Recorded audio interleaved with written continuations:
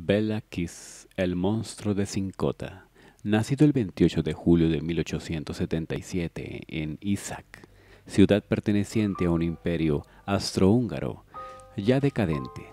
No tenemos apenas referencia de su infancia o juventud.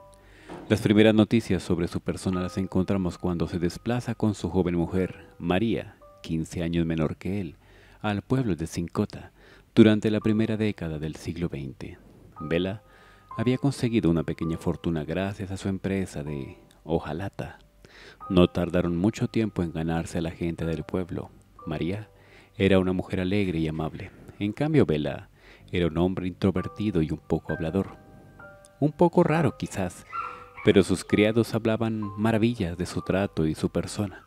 Debido al trabajo, nuestro protagonista se ausentaba largas temporadas, tiempo que aprovechaba su mujer para verse con un joven artista de la zona, Paul Biari o Vicari. Como suele ocurrir en los pueblos pequeños, la gente tardó poco en percatarse de la situación y decidieron contárselo a Bella. Excéntrico, sí, pero no se merecía vivir en un engaño. Decidieron contárselo cuando volviera de uno de sus viajes de negocios, pero llegado el momento se echaron atrás al ver el buen humor con el que volvió. Por desgracia para él, cuando llegó a su mansión descubrió una carta de su mujer contándole que lo abandonaba por Paul y que no intentara buscarla. Los vecinos que le acompañaron a su casa tan solo se habían alejado unos metros cuando escucharon sus sollozos y lamentaciones. Desde este momento Vela se volvió un hombre solitario despidiendo a sus criados, contratando una ama de llaves de apellido Jakubek y aumentando sus viajes de negocios y sus ausencias. Entre viaje y otro se reunió con el condestable de la zona, una especie de jefe militar, comentándole su preocupación por una inminente guerra. Si se diera el caso, le enseñó unos depósitos cilíndricos que guardaba en el sótano de la casa llenos de gasolina. Estos depósitos eran de grandísima utilidad en casos bélicos, y en caso de pasarle algo, estaban a disposición del pueblo.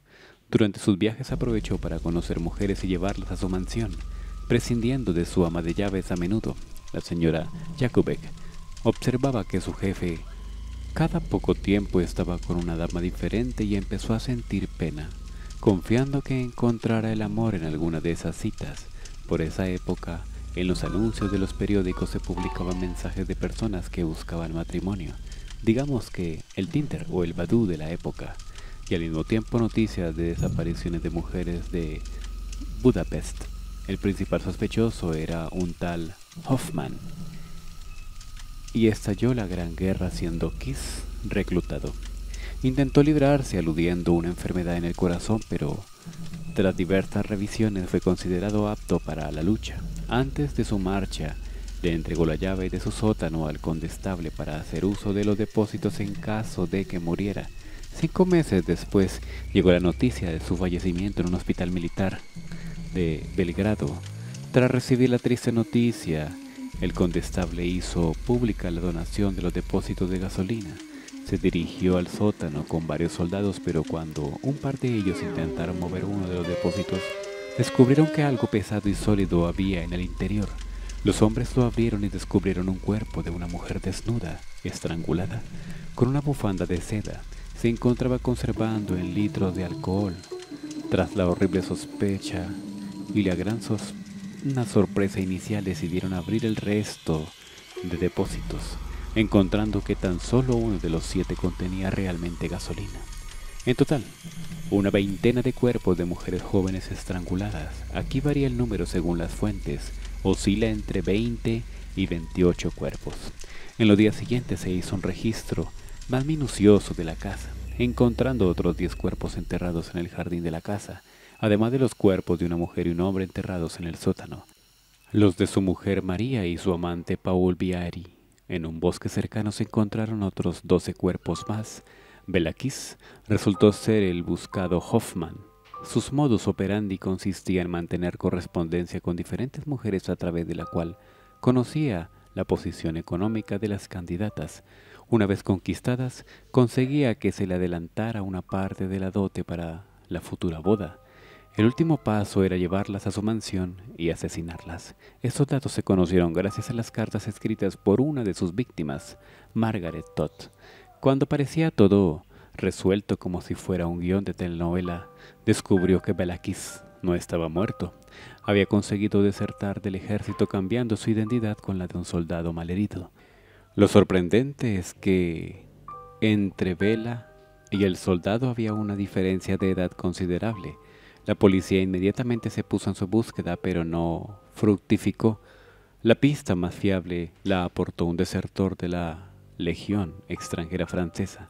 En aquella época era el lugar idóneo para los delincuentes internacionales, que explicó cómo en su batallón había un hombre con edad y rasgos similares a los de Belakis, que se dedicaba a alardear de cómo se hizo rico asesinando a mujeres solteras ricas pero una vez más llegaron tarde.